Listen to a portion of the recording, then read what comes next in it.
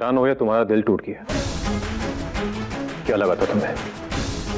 कि मैं तुम्हारी खूबसूरती के ऊपर पैदा हो गया बिल्कुल नहीं।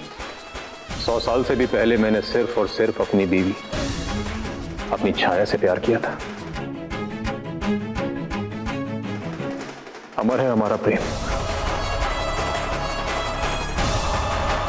लेकिन हम यक्षों की दुनिया में, एक यक्ष और एक इंसान का प्यार करना इतना आसान नहीं है। लेकिन हमने तय कर लिया था कि हम सारी मुश्किलों का सामना करेंगे और हमने शादी कर ली। दूसरी दुनिया में आकर भी मेरी बीवी मेरा सबसे बड़ा सपोर्ट सिस्टम बनी। मेरी पार्टनर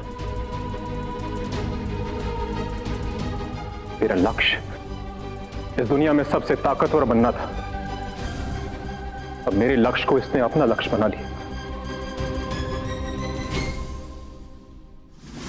और तुम दोनों ये प्यार मोहब्बत की जो बातें करती हो ना, छाया से पूछो कि प्यार का असली मतलब क्या होता है? वो तुम्हें प्यार के असली मायने समझाएगी।